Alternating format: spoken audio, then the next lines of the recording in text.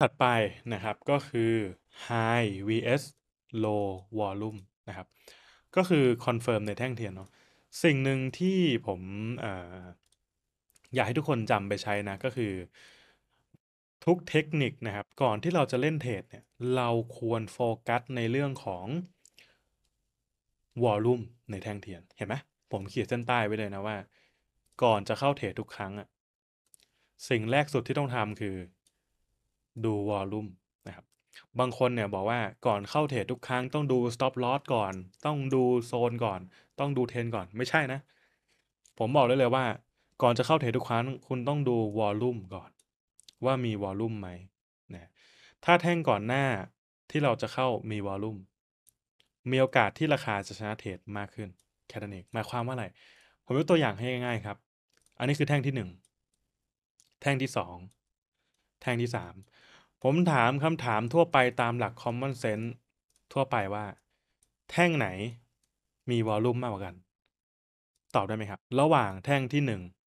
2 และ 3 แท่งไหน คลิปนี้นะครับ ได้รับการสนับสนุนโดย b r o k e r XM นะครับ broker Forex อันดับหนึ่งทั้งในไทยและต่างประเทศ ทาง XM เนี่ยเขามีโปรโมชั่นใหม่สำหรับ trader มือใหม่ทุกคนเนาะก็คือเพียงแค่เรานะครับสมัครเปิดบัญชี trade กับ XM นะครับ ก็สามารถรับ 30 ดอลลาร์ไปเริ่มต้น trade ได้เลยฟรีๆนั่นเองนะครับ และที่สำคัญนะครับถ้าเราทำกำไรได้เนาะกำไรตรงเนี้ยสามารถถอนออกมาได้ด้วยนั่นเอง XM เนี่ยยังมีทีมงาน support สำหรับคนไทยโดยเฉพาะนะครับจันทร์ถึงศุกร์24 ชั่วโมงต่อวันเลยนั่นเองนะครับถ้าใครนะครับสนใจเนาะเข้ามาเป็นครอบครัวเดียวกันนะครับกับ XM ลิงก์สมัครอยู่ใต้คลิปนี้สามารถสมัครเข้ามาได้เลยนั่นเองนะครับ เชื่อไหมไม่มีใครตอบผิดเลยสักคน ผมสอนนักเรียนมาพันกว่าคน ไม่มีรุ่นไหนคนไหนตอบผิดสักคนเพราะอะไร เพราะมันอยู่ในการสังเกตเบื้องต้นพื้นฐานเรา แท่งเยอะ volume เยอะแท่งใหญ่ ผมต้องย้ำนิดนึงนะว่าไอ concept เนี้ยมันใช้กับตลาด forex นะ ใช้กับตลาด forex ถ้าเป็นพวกตลาดหุ้นนะครับ ตลาดหุ้นเนี่ยบางทีนะมันจะต่างกัน อย่างบางแท่งเป็นแท่งเล็ก ๆ แต่ volume เยอะก็มีแบบพวกจังหวะเจ้าหลอกอะไรเงี้ยก็มีนะครับเพราะฉะนั้น concept นี้นี่คือตลาด forex ใช้แบบนี้ได้ ให้จำไว้เลยครับว่า ถ้าแท่งก่อนหน้าเป็นแท่งใหญ่ มีโอกาสแท่งต่อไปเนี่ยจะเป็นแท่งใหญ่แบบนี้ได้เหมือนกัน อันนี้ก็อาจจะขึ้นได้ประมาณนี้ แต่ว่าถ้าเกิดแท่งเป็นแท่งเล็ก มีโอกาสที่ราคาจะกลับตัวลงแบบนี้นะครับ ได้สูง ผมพูดว่ามีโอกาสนะ ถ้าสังเกต keyword ที่ผมพูดนะ ผมจะพูดคำว่ามีโอกาส ผมไม่ได้บอกว่าจะร้อยเปอร์เซ็นต์นะไม่ใช่ ผมจะว่ามีโอกาสที่มันจะขึ้น หรือมีโอกาสที่มันจะลงทำไมผมถึงพูดแบบนั้น เพราะว่าบางทีมันจะเป็นเหตุการณ์แบบนี้ก็ได้ครับ บอกว่าเป็นแท่งใหญ่ถูกไหมเอ้ยทำไมอยู่ดีราคามา volume หมดตอนนี้เลย ก็เป็นไปได้เหมือนกัน เพราะไอ้นี่แท่งเนี้ยคือวอลลุ่มช่วงสุดท้ายที่เขาจะมีละ แล้วเขาก็จะหมดแรงนะครับ อันนี้ก็เอ้ยดูเหมือนจะไปไม่ได้ แต่พุ่งขึ้นแบบนี้เลยก็มี ถูกไหมอันนี้บอกเฮ้ย เป็นแท่งเล็กๆ ไม่มีวอลลุ่มเลยแต่อยู่ดีพุ่งพวดแบบนี้ก็มีเหมือนกันนะครับ เพราะนั้นถามว่าอ้าวแล้วอะไรคือใจความสำคัญว่ามันจะขึ้นหรือมันจะลง อะไรคือข้อบ่งบอกคำตอบคือไม่มีนะครับ เพราะฉะนั้นเนี่ยมันไม่สามารถใช้ concept เนี้ยอย่างเดียวในการเข้าเทรดได้บางคนโหเห็นเป็นแท่งใหญ่ buy follow ไปเลยไม่ได้นะครับ เราต้องดูองค์ประกอบอื่นด้วยอย่างเช่นว่าเฮ้ยราคาเนี่ยมันมีเลนให้วิ่งไหม multiple time frame มันโชว์ทิศทางเดียวกันไหม หรือจังหวะ impulsivity มันมีไหม คือมันต้องใช้เราเรียกว่า confirm เนาะเป็นการ confirm ถ้าสังเกต keyword นะ ผมจะเขียนว่าอะไร confirmation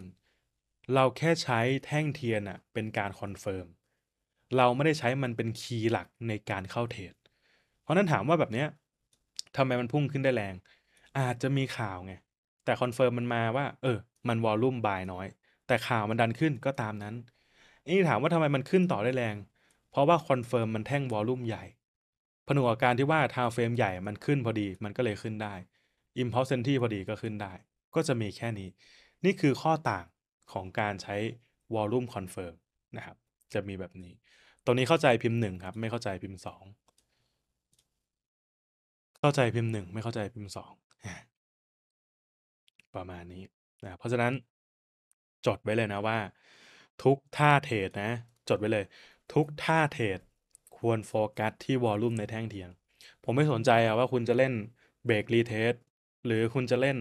impulse entry หรืออะไรก็แล้วแต่ไม่สนใจสิ่งหนึ่งที่อยากจะให้มองเนาะก็คือว่าตลาดเนี้ยให้เรามองมันคือการต่อสู้กันระหว่าง buy กับ sell นะ แค่นั้นเอง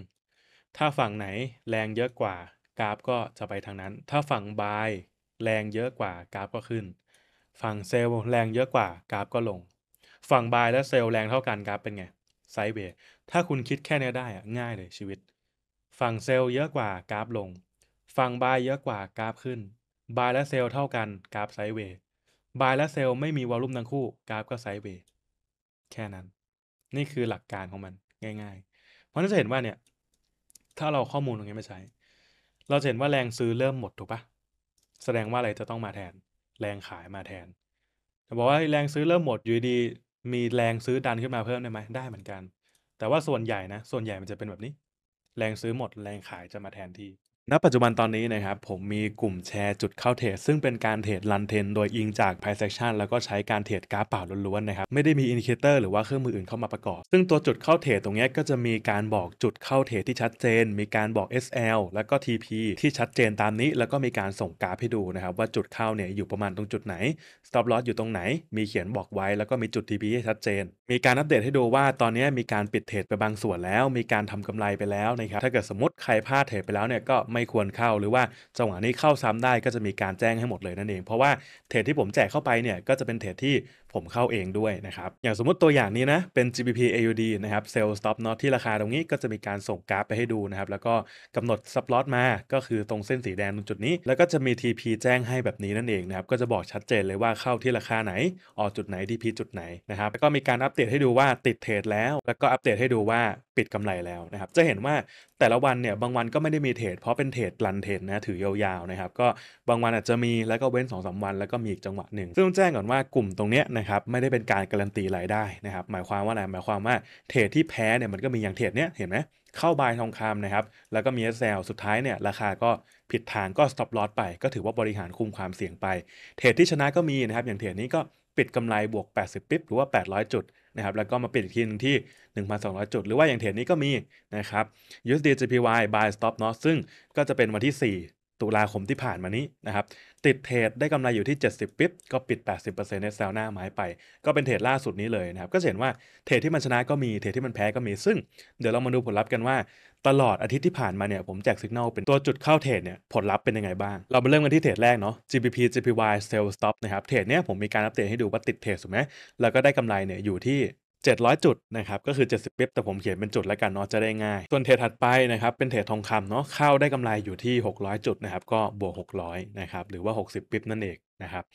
เทรดถัดไปนะจะเป็นเทรดของ GBP AUD นะครับเทรดนี้ก็ได้กำไรอยู่ที่ทั้งหมดเนี่ย 1,200 จุดนะครับบวกไป 1,200 จุด แล้วก็จะมีเทรดนี้นะครับเทรดทองคำที่ขาดทุนไปเนาะตรงจุดนี้นะครับเทรดเนี้ยขาดทุนอยู่ที่100 ปิ๊บนะครับหรือว่า 1,000 จุดนะครับก็ลบไปที่ 1,000เนาะแล้วล่าสุดนะครับมา GBP AUD นะครับ USD JPY เทรดนี้ได้กำไรสุทธิไปเมื่อวันที่ 4 ที่ผ่านมานะ บวกที่ 700 จุดนะครับ เพราะนั้นเนี่ยกำไรณปัจจุบันเนี่ยจากการเทรดแค่ทั้งหมด 5 เทรดนะครับ ภายใน 1 สัปดาห์เนี่ยได้กำไรสุทธิอยู่ที่ 2,200 จุด สมมุติว่า ถ้าเกิดเราเข้าประมาณ1 lot size เนาะเราก็จะได้กำไรอยู่ที่ประมาณ 2,200ดอลลาร์แต่ต้องบอกว่าตัวเลขตัวนี้มันแล้วแต่คนนะบางคนออก lot size น้อยบางคนออก lot size เยอะแล้วแต่นะครับแต่ว่าอย่างที่ผมแจ้งไปว่า ตัวเลขตรงนี้ไม่ได้เป็นการการันตีนะว่าทุกสัปดาห์จะเป็นอย่างนี้ บางสัปดาห์มันดีหน่อยแบบสัปดาห์นี้ก็ได้กำไร บางสัปดาห์ไม่ดีก็ขาดทุนก็มีแต่ว่าทั้งหมดทั้งมวลเนี่ยพยายามที่จะทำให้มันเป็นเทรดที่มีประสิทธิภาพมากที่สุดถือเทรดยาวๆนะครับเมื่อก่อนเนี่ยผมเปิดกลุ่ม scalping เนาะถือเทรดสั้นแต่ปัจจุบันเนี่ยถือเทรดยาวแล้วเพราะรู้สึกว่ามันง่ายสบายกว่า ไม่ต้องมาเฝ้ากราฟบ่อยๆนะครับแล้วก็คนเทรดตามก็จะได้ไม่ต้องยุ่งยากมากด้วยนะครับถ้าสนใจนะครับเข้ากลุ่มตรงนี้เนาะเป็นกลุ่มแจกจุดเข้าเทรดนะครับสามารถติดต่อได้ที่ line ID @mjpo มีแอดด้วยนะแล้วก็ทักมาว่าสนใจ 720 นะครับ ต้องย้ำก่อนว่า ใครที่รู้จักช่องผมมาสักแรกแล้วอะผมไม่แนะนำให้เข้ากลุ่มนี้นะ เพราะว่าอะไร เพราะผมอยากให้ทุกคุณเนี่ยเทรดเป็นกันเอง นะครับแต่ถ้าเกิดว่าอยากเข้ามาเพื่อมาดูจุดเข้าเทรดหาไอเดียแนวคิดว่าเฮ้ยทำไมผมถึงเข้าจุดนี้ คิดยังไงทำไมกราฟวิ่งขึ้นทำไมถึงเข้าบายตรงจุดนี้ทำไมไม่รอกลับตัวลงมาหน่อย ก็สามารถมาดูได้ เพราะก็จะมีการแชร์จุดเข้าเทรดให้ดูชัดเจนนะครับคิดซะว่าเข้ามาความรู้ตกวันละประมาณ 24 บาทเท่านั้นนะ สมมุติเรา 720 หาร 30 วันเนาะ คือกลุ่มนี้จะเป็นกลุ่มที่สามารถอยู่ได้ 1 เดือนนะ ไม่ใช่จ่ายครั้งเดียวแล้วอยู่ตลอดไม่ใช่ครับ 720 บาทต่อเดือน หมายความว่าตกวันละ 24 บาทนะครับ ก็ลองเข้ามาดูได้ ถูกกว่าซื้อข้าว 1 มื้อ นะครับย้ำตรงนี้ให้ดี นี่ไม่ใช่กลุ่มชวนลงทุนหรือการแนะนำการลงทุนนะครับ เพียงแต่เป็นกลุ่มที่แชร์จุดเข้าเทรดจากผมเองเนาะเพราะฉะนั้นถ้าใครคิดว่ามันคือกลุ่มชวนลงทุน เอาเงินมาลงได้เฉยๆคุณคิดผิดไม่ใช่กลุ่มแบบนั้นนะครับผู้ที่สนใจเข้ากลุ่มนี้ควรศึกษาความเสี่ยงในตลาด forex ให้เข้าใจก่อน ว่ามันมีการแพ้มีการชนะไม่ได้มีการได้กำไรอย่างเดียว ถ้าเกิดว่าได้กำไรอย่างเดียวรวยกันทั้งโลกละนะครับเพราะนั้นไม่ใช่มีแพ้มีชนะนะครับไม่มีการการันตีรายได้ หรือการขาดทุนใดทั้งสิ้นนะเป็นเพียงแค่ กลุ่มแอจุดเข้าเทรดเท่านั้นเองนะครับซึ่งบางเทรดคุณอาจจะเข้าทันบางเทรดอาจจะไม่เข้าทันผลลัพธ์แต่ละคนไม่เหมือนกันแตกต่างกันแน่นอน เพราะฉะนั้นผลลัพธ์ที่เห็นตรงนี้ อันนี้เป็นแค่หนึ่งในตัวอย่างที่เกิดขึ้นในสัปดาห์ที่ผ่านมานะสัปดาห์ถัดไปอาจจะกำไรก็ได้ หรืออาจจะขาดทุนก็ได้ เป็นเรื่องของความเสี่ยงที่ต้องรับให้ได้ ถ้าใครที่รับความเสี่ยงไม่ได้แนะนำว่าไม่ควรเข้ากลุ่มนี้มาแต่แรกนะครับแต่ถ้าเกิดสนใจรับความเสี่ยงได้รู้ว่าอะไรเป็นไรอยากเข้ากลุ่มนะครับสนใจทักมาได้เลยที่ Line ID at mjpo มีแอดด้วยนะ เราก็ทักมาว่าสนใจ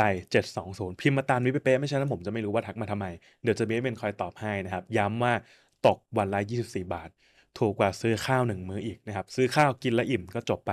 แต่ว่ากลุ่มนี้คุณเข้ามาคุณได้ความรู้ คุณได้โอกาสในการเข้าเทรดนะครับ แต่ต้องย้ำว่าไม่ได้เป็นการการันตีรายได้นะ หวังว่าจะเจอกันในกลุ่มเนาะถ้าสนใจก็ทักมาได้เลยนะครับ Line ID at mjpo สนใจ 720 นะครับ ทักมาตามนี้เป๊ะๆแล้วเจอกันใหม่คลิปหน้าครับ สวัสดีครับ